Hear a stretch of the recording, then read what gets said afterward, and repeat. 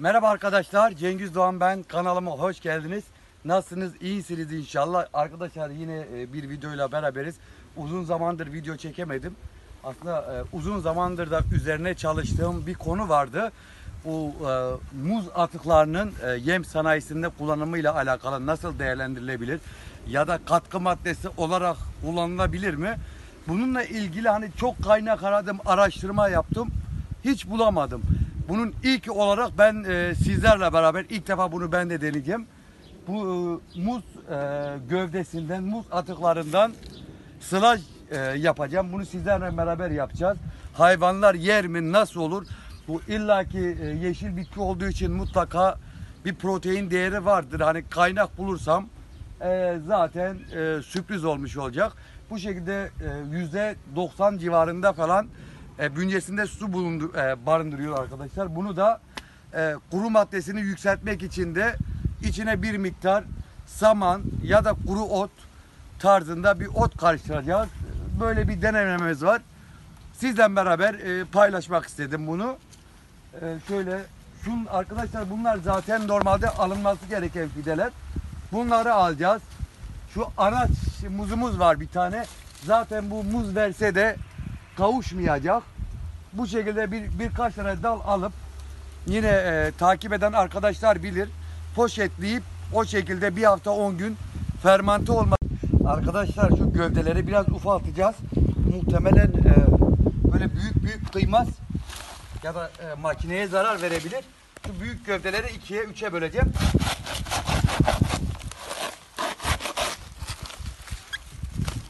Arkadaşlar bir de şöyle benim yapmadığım bir şey normalde bitki susuz kaldığı için şu e, liflerin içi genelde şuralar su dolu olurdu. Şu an susuz olduğu için bitki kuru maddesi biraz daha fazla olacağını düşünüyorum.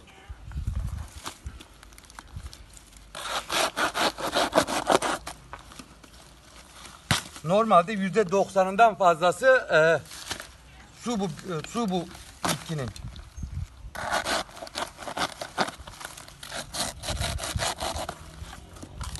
Arkadaşlar yallah bismillah deyip e, sizlerle beraber bir deneyelim. Ayrıca arkadaşlar kusura bakmayın hava çok rüzgarlı. E, bu şekilde bir çekim yapıyoruz. Bir deneyelim.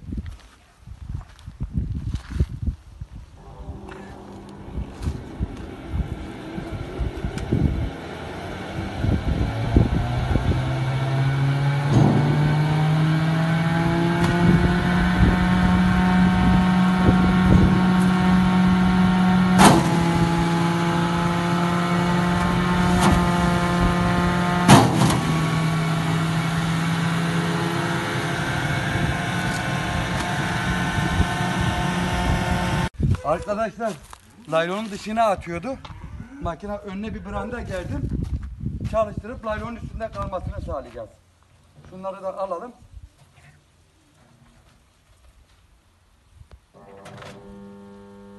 Şu da ara öncelikle şunu da alayım.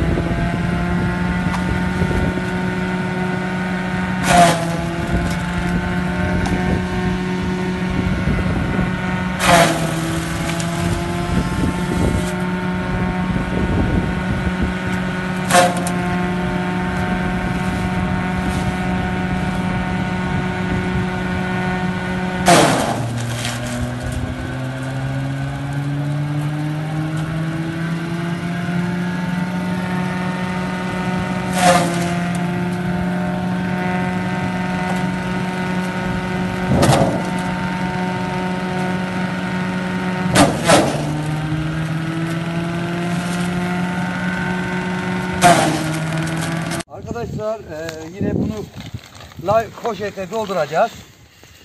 Ayrıca e, normalde slash e, 20 ile 30 gün arasında fermentasyonu e, oluyor.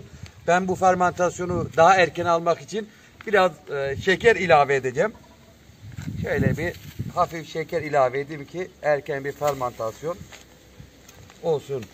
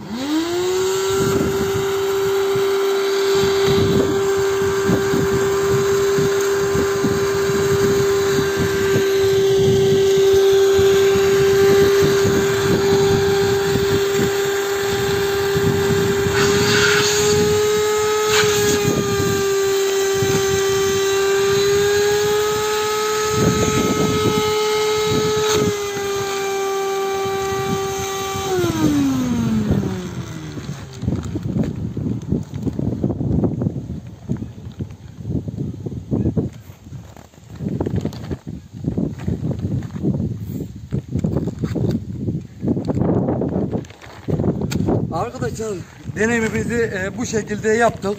Sonucunu e, bir hafta sonra bir hafta 10 gün sonra e, tekrardan videosunu çekip sizlerle paylaşacağım.